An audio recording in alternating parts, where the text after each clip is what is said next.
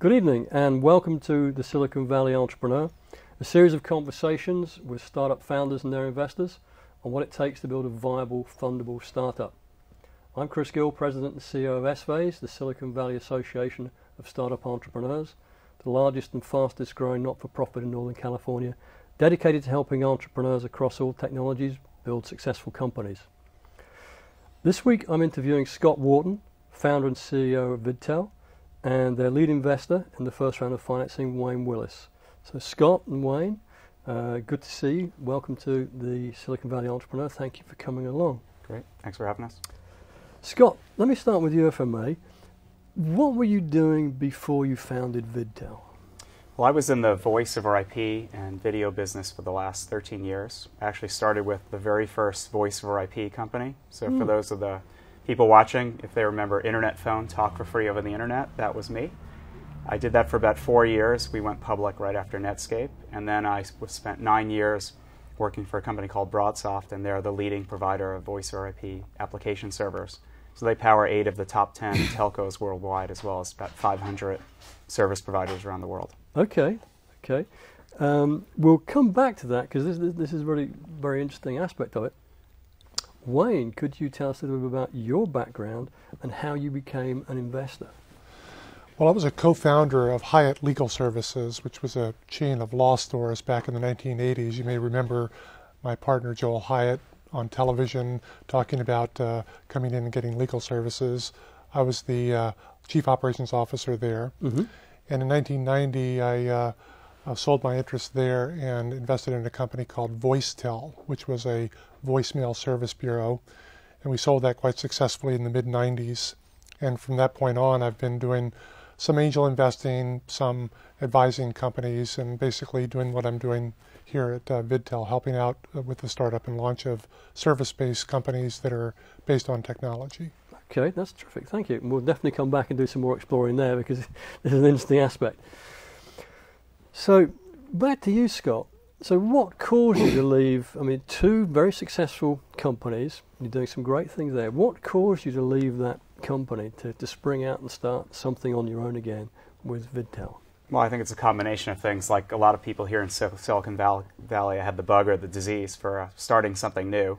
And after nine years at the prior company, we were doing very well. We were in 65 countries, 350 people we were starting to look to go public and do all the Sarbanes-Oxley compliance stuff. Uh-huh. And I started getting the itch to start something new.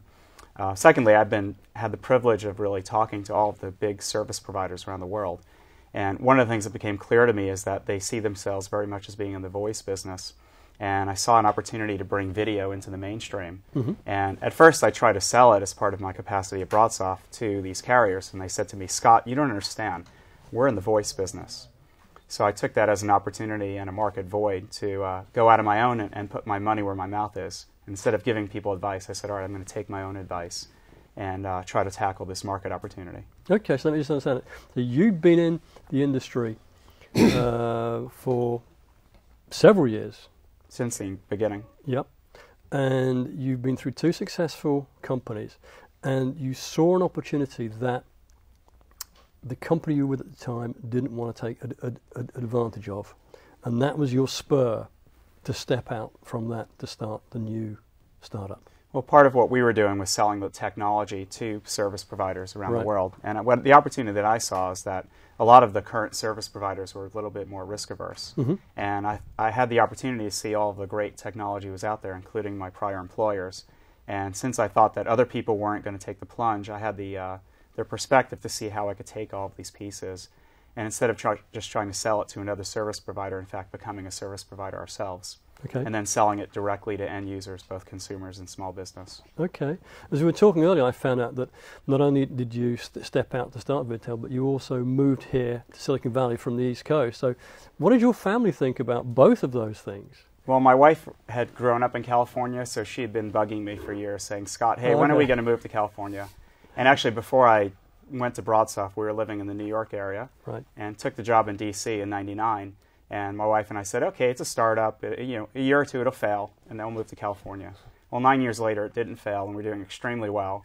And she said, okay, well, honey, let's go. so uh, we figured Silicon Valley, best place in the world to start a company, and Right. the weather being what it is is not a not a bad point either. So uh, we just decided, uh, quit my job in April, uh, moved out here in June, got some initial funding in July, and we built the team and launched our first service very quickly. So in December, we became commercially live and we're Mhm. generating revenue. Okay. Um, so, Wayne, if, if I can come back to you a little bit, please, and, and, and probe a little bit here. How did you come to be involved with, with, with Vidtel and, Scott? Well, I've known Scott for uh, 11 or 12 years now. So uh, we were we met at a alumni event, and I've tried to recruit him into several companies. Uh, I saw him as a marketing star, and tried to get him into several companies I was an investor in. Um, we came close a couple of times, but uh, never could land him. Mm-hmm. And when he was vetting the idea, he called me up and said, "What do you think of the idea?" And we talked about it further. And I got very excited about it because I I've seen a lot of service-based businesses, and I liked all of the properties of this. And of course, Scott is fairly unique in having all these relationships with uh, people who could be partners, people who could potentially be competitors. So he knows what they're doing, both uh, strengths and weaknesses, and um, uh, he brings the uh, youth and passion as well as the experience to uh, do all the heavy lifting of being a being a, founder and a startup uh, entrepreneur. Terrific. Okay, thank you for that. So let's hear a little bit more from you, Scott, about the product because voice over IP is now fairly well established, at least in Silicon Valley, Mhm. and, and, and video over IP is, is not that unusual. You get a camera and a new laptop. Right. So, why a video phone? T- tell us about it. What makes it different, and what why why it's, what you think its future is. So the opportunity that we saw was that if you look at video telephony today as opposed to video television, there are two markets. There's high-end video conferencing, Mm-hmm. so Cisco Telepresence and Polycom, and it works great. The quality is very good, but it's very expensive, and you typically need an IT manager to set everything up. And then the low end, you have things like Skype and Yahoo and Google, and while they're unbeatable with the price, very often you either need both sides to be technically savvy, or you need your computer on all the time. So it's not as convenient as using a phone.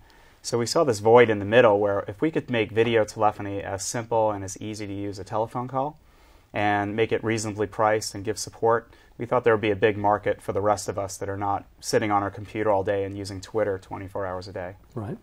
So basically, the service that we're offering is a, it's a phone service, so you can make calls with telephone numbers and call anyone in the world with voice. Um, but if right today we're selling with a video phone, like I'm showing here, and it's got a camera and a screen. So if you call someone and they uh, they have a voice line that you can talk to them, and if they have video, you can see them. So it's that simple.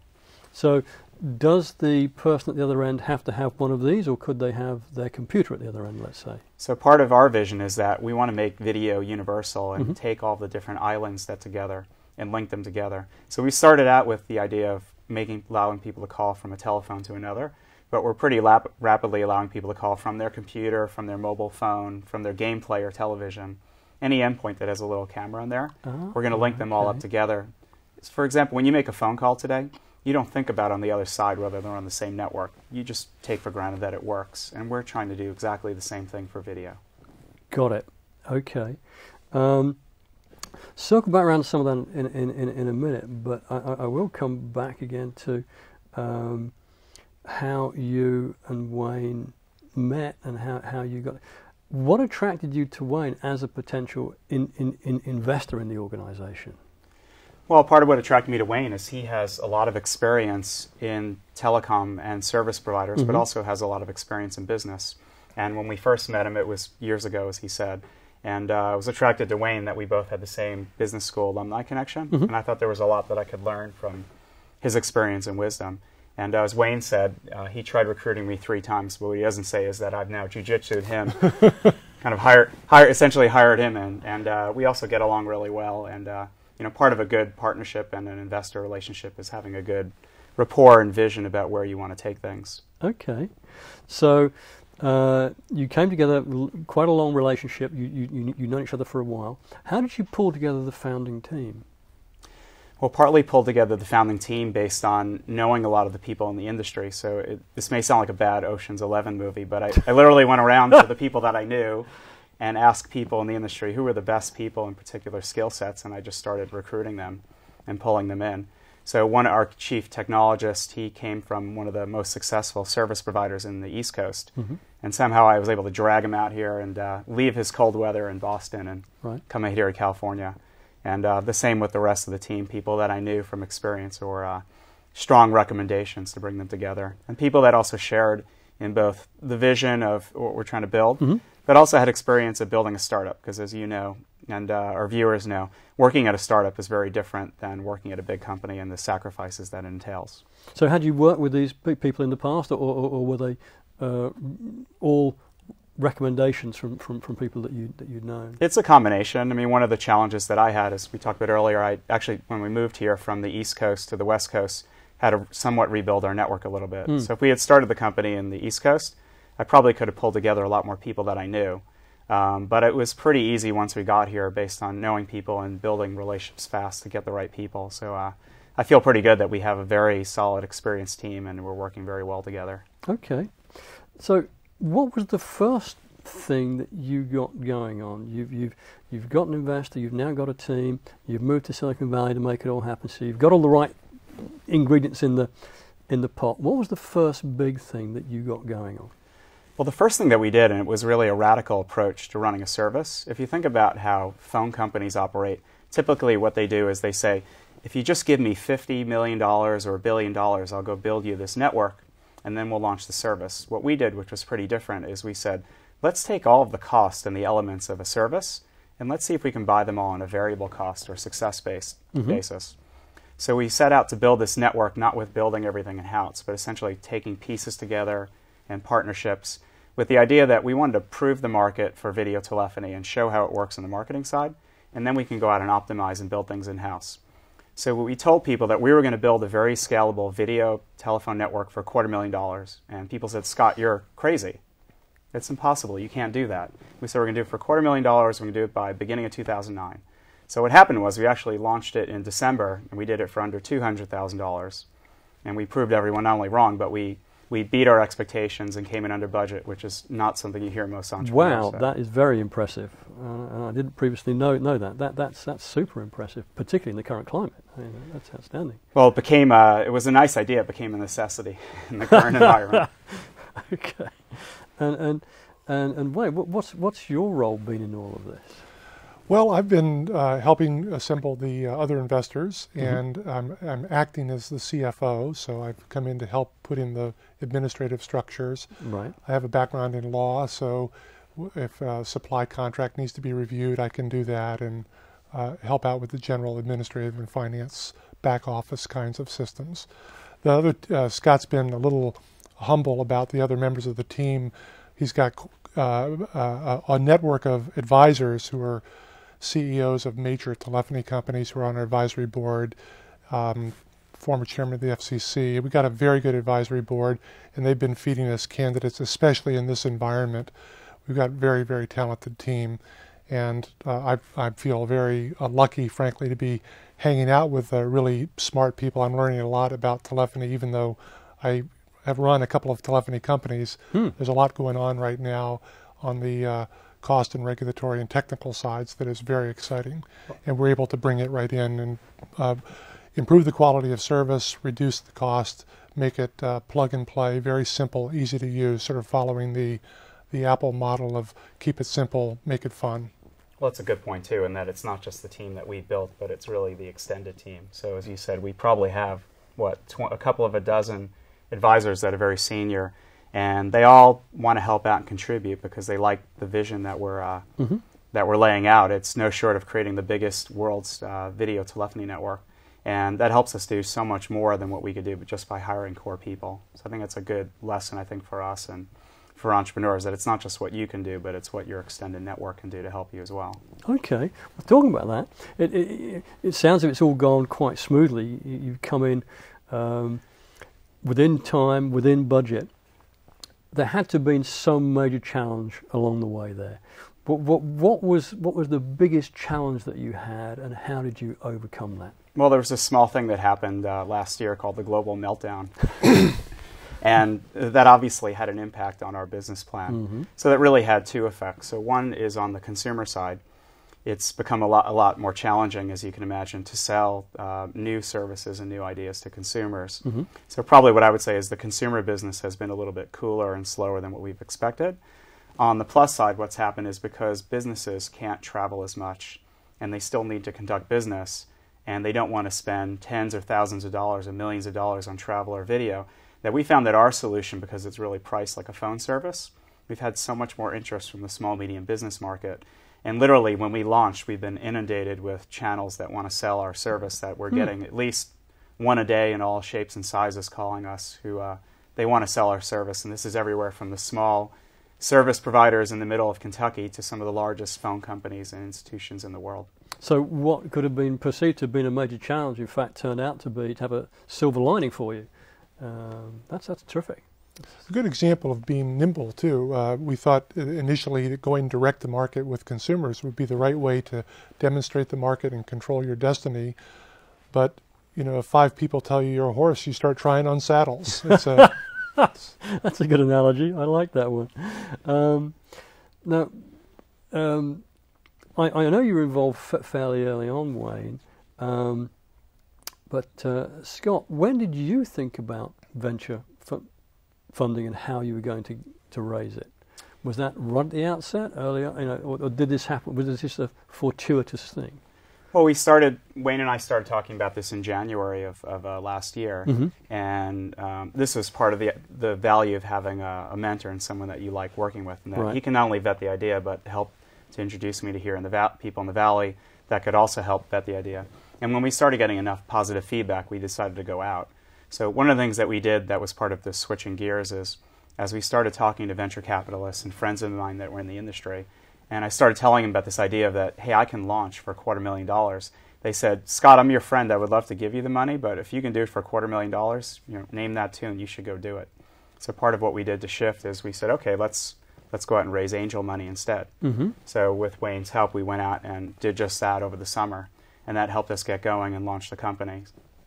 Um, was this at the idea stage? Did you have a prototype at that time? Did- What, what, what sort of stage was this at? I would say it was more at the idea stage. Okay, and, and, and that's pretty unusual in, in, in, in the current climate to raise to raise money from angel groups at the idea stage. They generally want to see something. They generally want to see some customer traction. Why do you think you were able to raise that, that money at that early stage at that time? Well, I think I would say it was, it was mostly individuals and not formal Okay. angel groups. And, Okay. and the main reason why they were investing is I think they, they invest in the people and the team. So I think a lot of them were people like Wayne and others that I'd worked with over the years Mhm. and had the opportunity to see me, and it was really just me at that point, um, work. And uh, we're just taking a bet, I guess, that I could raise I could raise more money and build the team and pull it off. And uh, you know, part of we we haven't made it there all the way yet, but I think we've helped validate at least their initial inclinations. I mean, Wayne, do you have anything to add to that? You know, was That's it the exact- idea? Was it the, was it, was it the, the, the people? And what, what was the most important factor? uh, there's three factors: uh, people, people, and people. And Scott was the only person initially, but he Okay. comes well recommended. And, and again, that group of people around him, the introductions from people who became advisors, and the reality is that people would look at the idea and and say, I think that that looks like, you know, this is the time for video. A lot of uh, evidence that it's a it's a wave that's going to happen. If you say to somebody, there's going to be a screen and a camera in 10 years, and all of our communications is going to be going through a screen and a camera. People go, that yeah, I think that's right. You know, Mhm. there's enough there's enough um, awareness driven by the high-end Cisco telepresence and the low-end Skype and and iChat and so on that people say, yeah, there's a big vast middle, and here's somebody who's spent 13 years developing go-to-market strategies as a mar- chief marketeer of the two the dominant companies in the space. Seems like a good bet. Okay, and, and I think that's an important thing that anybody can have the idea, but it takes a team to make it happen. So, you know, the video phone has been tried a number of times over the years, Mm-hmm. but but nobody's really been that successful with it. So, having somebody who, who who's you can be convinced will be able to make it happen, that would appear to be the major Right. factor. That's right.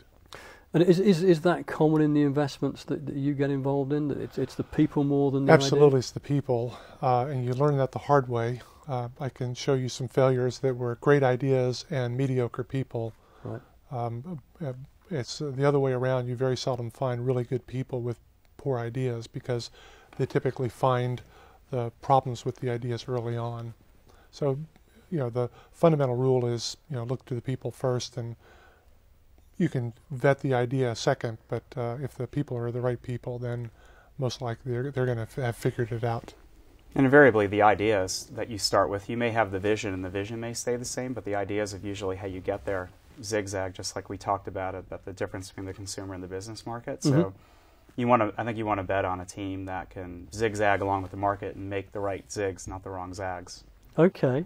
Now, you, you got this going in a remarkably short amount of time. So you, you raised, you had the idea, you raised angel, angel money in, in January of In Ju- 2008, Actually, July, July of 2008, right, and you've now got a product and you have customers. right. How did you do that in such a short time? I think it's a combination of things. I think it's based on a lot of experience at working at startups where you figure out how to do things very quickly, and and uh, part of it just having 13 years of experience in this industry where you know how everything works and finding the right people that have done it before. Mm-hmm. Um, and then I think it's just part of our. We took a strategy that ended up working out that everyone said couldn't work and couldn't be done, but I knew it could be done. Found a group of people that shared the same vision, and then we went ahead and and did it. And sometimes when you don't have, you know, I heard Scott McNealy talk a few months back, and he said the worst thing you can do for a startup is give it too much money, because what happens is you go out and you just replicate everything the same way it's been done before. If you don't have as much money, it really forces you to be creative and do things in a different way. And that's exactly what we did. And a lot of people, as I said, said they thought for sure we were going to fail, and we didn't. And I think we've now found a new way to not only get to market faster, but we found a way to have a dramatically lower cost business, an Mhm. order of magnitude better than anyone out there. And that was forced on us partly because we didn't have $20 million, $100 million.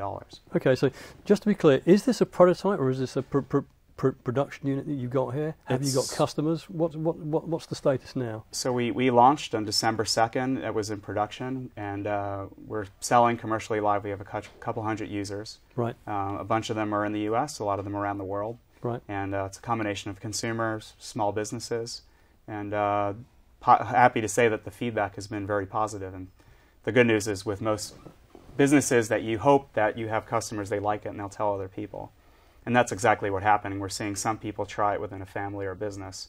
And then the best thing is a few days later, a week later, you get another order for more. And, and we're happy to be in that stage right now. Okay, and, and you're now finding through through a viral e- e- effect that you're getting channels coming to you, asking you if they can sell it on for you. It's partly that, and I think it's partly, as, as Wayne talked about it, when you have relationships and people that you know in the industry over the years, uh, they call you up because they know that they can trust you and you can deliver and you have integrity, which is also an important thing. And a lot of the business that we're getting today is people know that we have a team that can deliver, they know that we have a team that has integrity, and uh, they know that when we say we're going to do something, we do it. And uh, you know, sometimes when you're in a new company, you think just because you have a good idea that you can just plow through. Um, but having the relationships that we have has allowed us to completely shortcut a lot of the the nonsense and, and gates that people put up in our way, and I think that's uh, you know it's an unfair advantage we have, but we're taking advantage Hey, of it. take advantage. I've always believed in, un- in un- un- unfair advantages. We've, we've Uh, gotten a lot of uh, press for a small early stage company. We've gotten an awful lot of press as well. Back in December when we launched, we sent out a notice and got a lot of coverage because it was a fairly unique idea. Here's a publicly available, you know, telephone number based video phone service. Uh, and then Scott was at the CES show in uh, January, and we got very nice coverage there as well.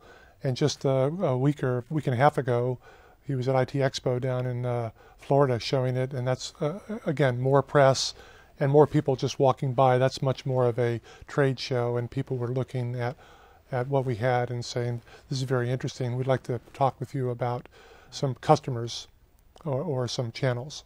And the other thing we do is we, we eat our own dog food, as the expression goes. Yep. So everybody in the office, they only use our service for video. There is no backup. You have to use that day in, day out. And also at home, we've given ourselves only home lines that have video, no no backup lines, if you will. And that what that helps us to do That's is great. establish confidence and that we know that we we start to use it and get more experience with our own product. Right. And that's helped us be better advocates because we're actually using what we uh, preach. Okay. Um, we're starting to run a little bit uh, late on time here, so uh, we're heading towards the wrap up. Are there any last um, insights you'd like to offer for entrepreneurs? I start with, with, with you, Wayne. Gosh, um, I don't know how to answer that question because the, the obvious one is, you know, pick a good business plan that has a sustainable advantage in a big market and an unfair advantage. And I think that's what we have here. There's uh, uh, getting out in front and being the dominant player here has uh, self-reinforcing effects, and uh, that's part of the reason I think it's attractive. Um, the other is to have people who can bring the right level of passion and drive to it. And passion, we have to remember, is a root word of pain and suffering. so, so you have to be you have to like it enough to bear some of the pain of startups as well, which Okay. uh, is uh, a good test of the character of the people you're working with. Okay. Well, Scott, anything from your side? Yeah, well, I, I certainly agree with Wayne that the most important decision you're ever going to make is to pick the right market and the right business. Mm-hmm. That's the most important. But beyond that, I think you have to appreciate as an entrepreneur that it's a roller coaster. And there are incredible highs and ups, and then there are incredible downs. And the most important thing you have to do is try as best you can to keep an even keel and just wake up every morning, get out of bed, and just do what you have to do. And if you can do that and keep your head about you, then you'll you'll probably do okay. Terrific. Scott, Wayne, thank you both very much indeed for coming along. Uh, it's time to wrap up, wr- wrap up now. Um, so thank you for sharing your, your experiences and insights. And uh, it's thank you and good night from SVASE and the Silicon Valley Entrepreneur. And look out for our next show next month. Thank you very much. So. Uh,